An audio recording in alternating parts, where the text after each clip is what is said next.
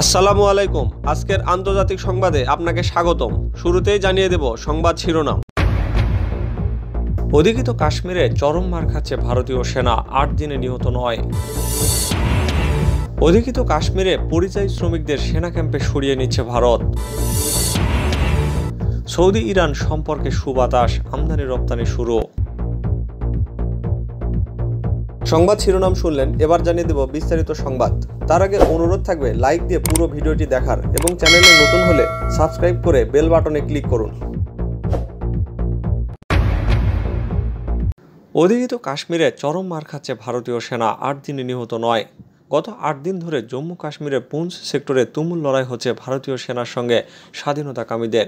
যে লড়াইয়ে সোমবার সকাল পর্যন্ত মোট নয়জন সেনা নিহত হয়েছেন, অথচ একজন স্বাধীনতাকামীকেও হত্যা করতে পারেনি সেনারা। উল্টো একের পর এক সেনার মৃত্যু হয়েছে। এসব ঘটনা নিয়ে দিন দিন উদ্বেগ বাড়ছে মোদী সরকারের।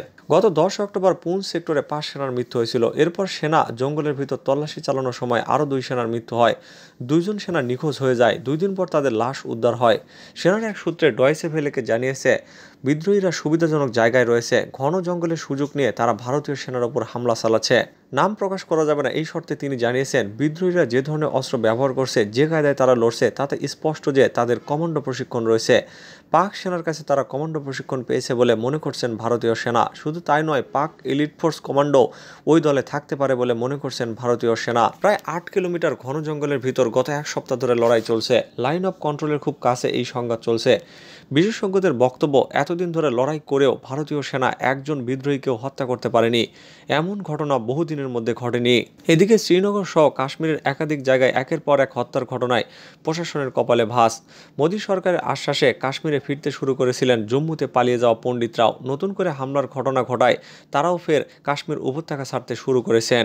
একটি বিষয় পরিষ্কার হয়ে গেছে, কাশ্মীরে বাইরে মানুষদের উপর আক্রমণ চালাচ্ছে বিদ্রোহীরা। হিন্দু, মুসলিম, শিখ কাউকেই ছাড় দেওয়া হচ্ছে না। অধিকৃত কাশ্মীরে পরিযায়ী শ্রমিকদের সেনা ক্যাম্পে সরিয়ে নিচ্ছে ভারত। অধিকৃত জম্মু ও কাশ্মীরের পুঞ্চ সেক্টরে ভারতীয় সেনার সঙ্গে স্বাধীনতাকামীদের তুমুল সংঘর্ষের মধ্যে বেশ কয়েকজন পরিযায়ী শ্রমিক নিহত হয়েছেন।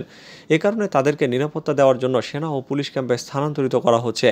রোববার এই তথ্য জানিয়েছেন ওই অঞ্চলে পুলিশ প্রধান বিজয় কুমার। তিনি বলেন, রোববার কাশ্মীরে আসা তিন পরিযায়ী শ্রমিককে তাদের ভাড়া বাসায় গুলি করা হয়েছিল, যার মধ্যে দুইজনের মৃত্যু হয়েছে। এরপর তিনি শ্রমিকদের সরিয়ে নেওয়ার জন্য তার অফিসারদের নির্দেশ দিয়েছিলেন। তিনি রয়টার্সকে বলেন, আমি কর্মকর্তাদের নির্দেশ দিয়েছি সাধারণ শ্রমিকদের দ্রুত সরিয়ে নেওয়ার জন্য। সৌদি ইরান সম্পর্কে সুবাতাস আমদানি রপ্তানি শুরু। জোর কূটনৈতিক তৎপরতার জেরে সৌদি আরব ও ইরানের মধ্যকার দীর্ঘ বছরের বৈরিতার অবসান ঘটতে যাচ্ছে বলে মনে করা হচ্ছে। কারণ ইতিমধ্যে রিয়াদ ও তেহরানের মধ্যে আমদানি রপ্তানি শুরু হয়েছে, যা দুই দেশের মধ্যে বরফ গলার ইঙ্গিত দিচ্ছে বলে মনে করছেন সংশ্লিষ্টরা। ইরানের জাতীয় শুল্ক বিভাগের পক্ষ থেকে জানানো হয়েছে, দীর্ঘদিন পর সৌদি আরবের সঙ্গে আবারও দেশটির অর্থনৈতিক সম্পর্কের সূচনা হয়েছে। উনচল্লিশ হাজার ডলার মূল্যের পণ্য রপ্তানির মধ্য দিয়ে তেহরান ও রিয়াদের মধ্যে বাণিজ্যিক সম্পর্ক ফের শুরু হয়েছে। ইরানের জাতীয় শুল্ক বিভাগের মুখপাত্র রুহুল্লাহ লাথিবি সংবাদ মাধ্যমকে এই তথ্য জানিয়েছেন। তিনি বলেছেন, রপ্তানির অঙ্কটা খুব ছোট হলেও এটি একটি শুভ সূচনা। দীর্ঘদিন বন্ধ থাকার পর সৌদি আরব গেছে ইরানের পণ্য। এটি একটা সুসংবাদ। দুই দেশের মধ্যে যখন সম্পর্ক উন্নয়নের বিষয়ে কূটনৈতিক তৎপরতা চলছে, তখন এই বাণিজ্যের ঘটনা নিঃসন্দেহে একটি ভালো দিক।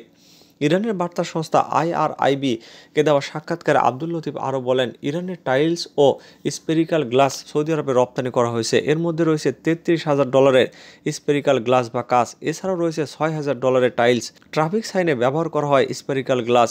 ইরানের জাতীয় শুল্ক বিভাগের এই মুখপাত্র বলেন, ইরানের বর্তমান প্রেসিডেন্ট ইব্রাহিম রাইসির শাসন আমলে সৌদি আরবের সঙ্গে দেশটির রাজনৈতিক সম্পর্কের পাশাপাশি কূটনৈতিক এবং সাংস্কৃতিক সম্পর্কের উন্নতি হবে বলেও আশা প্রকাশ করছেন তিনি।